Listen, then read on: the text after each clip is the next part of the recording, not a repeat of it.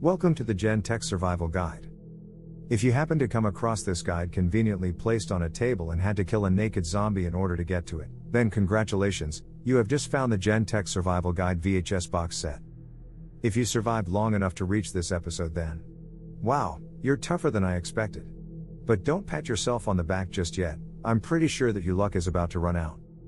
It's only a matter of time before you caught with your pants down and a zombie will bite you in the ass. If that happened to be the case, then I'm afraid zombie bites are 100% fatal, so you might as well get naked, drop your gear where you stand, and place this cassette tape on the top of the pile. Better luck next time.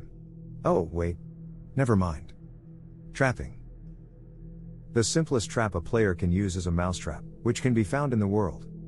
The player can also use their trapping skill to create traps, if it's high enough and if they have learned the crafting recipes. Player made traps include snare traps, stick traps, and trap boxes. Creating a trap requires the player to have the necessary materials and or tools in your main inventory to make it. You will also need to learn the recipe for the trap from a skill magazine in order to know how to craft them. Once these prerequisites have been met, you can select the crafting option by either right clicking the materials in your inventory or opening the crafting interface.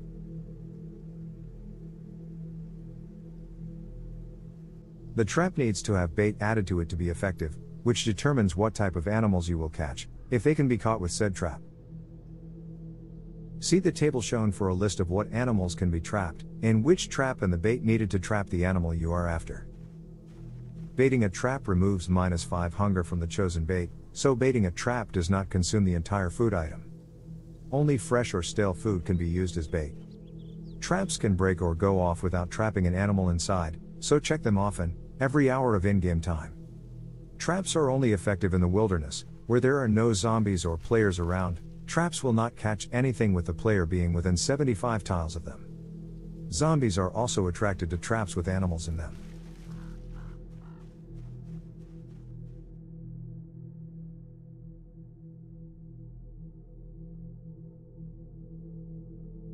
A mouse trap is one of several traps used in trapping to catch a variety of wildlife. However, it is the only trap that cannot be crafted. Mouse traps can be found in kitchen counters or warehouse crates. The table shown is A the bait best used for a mouse trap.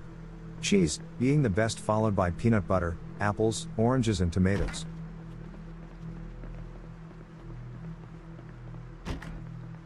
The best locations to place your mouse traps are farms, trailer parks, and urban settings. There is a 30% chance of catching a mouse and a 25% chance of catching a rat in the locations previously listed. Snare Trap To craft a snare trap, the player must have picked either the park ranger occupation or hunter trait during character creation. Otherwise, it will be learnt after reaching trapping level 1 or reading the Hunter Magazine Volume 1.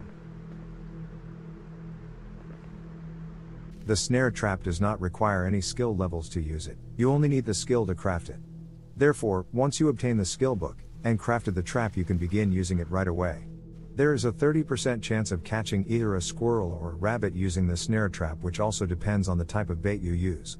Vegetables for rabbits, cereals, nuts, and peanut butter for squirrels. These animals can be caught in deep forests with said bait.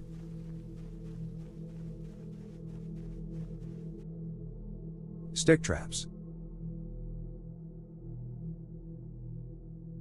To craft a stick trap, the player must have picked either the park ranger occupation or hunter trait during character creation. Otherwise, it will be available after reading the Hunter Magazine Volume 2. Stick traps can only catch birds. The best bait to use is bread, cereal, and corn. Stick traps are best caught in farms, towns, vegetation, and trailer parks. Always remember to bait the trap. Trap crate. To craft a trap crate, the player must read the Hunter Magazine Volume 2 or have picked the Park Ranger occupation or Hunter trait during character creation. After crafting it, you can right click on ground and use place trap option to place it. There is a 30% chance of catching a squirrel or rabbit using this trap. This percentage is additional to the percentage chance from the bait you use.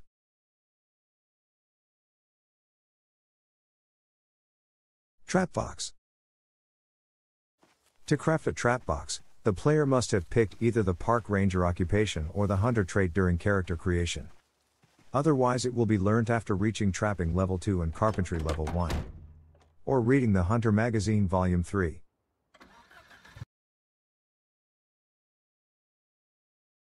Rabbits and squirrels are small animals that can usually be found in the forests. They can be found rarely in urban settings. Rabbits and squirrels are nocturnal creatures that are usually active between 1900 hours and 5 o'clock.